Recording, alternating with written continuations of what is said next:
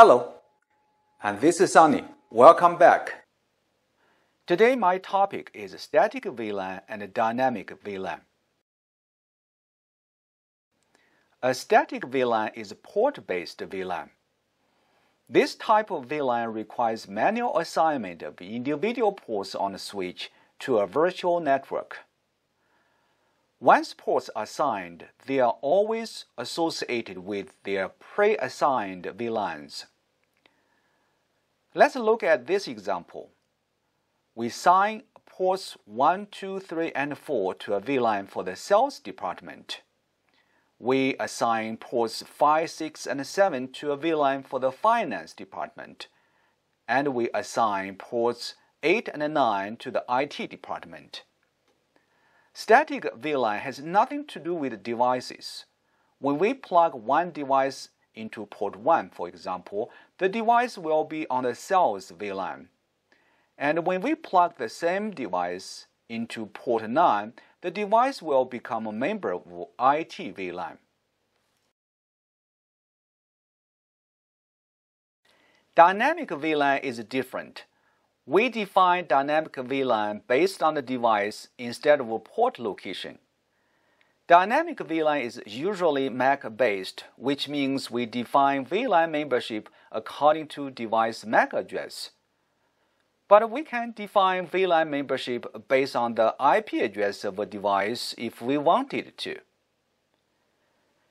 Dynamic VLAN requires a central server called VLAN Member Policy Server or simply VMPS server.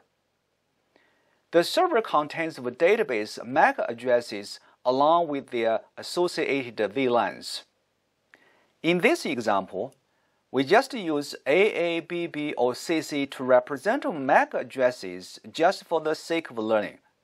We all know an actual MAC address is a 48-bit long hexadecimal number when a computer with MAC address AA is plugged into port 1, port 1 will communicate with the server and check against the database for its membership. In a database, computer AA is pre-assigned to VLAN 10.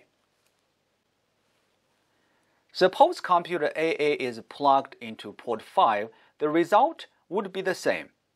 Port 5 will communicate with the server and find the pre-assigned VLAN to computer AA.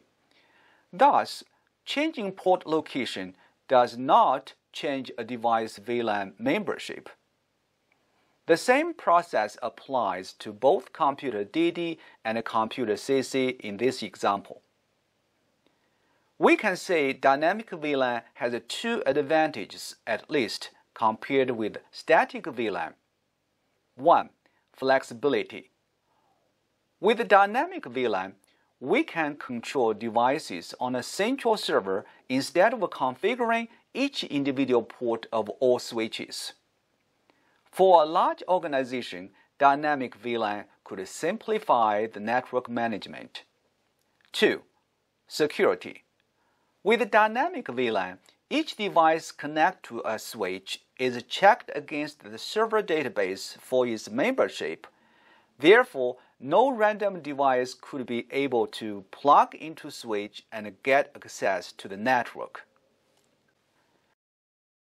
In summary, static VLAN requires manual assignment of ports to a VLAN.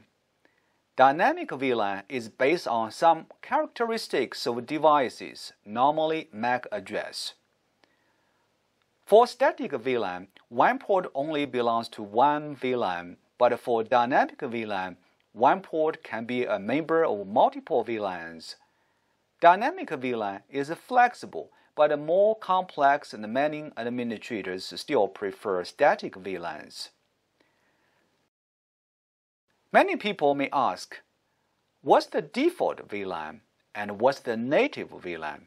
Well, these two concepts are related to 802.1q and trunking, which I will talk about next time. I hope this video is helpful. If you want to learn network systematically, please check out my playlists. They are organized by topics. Thank you very much and see you next time.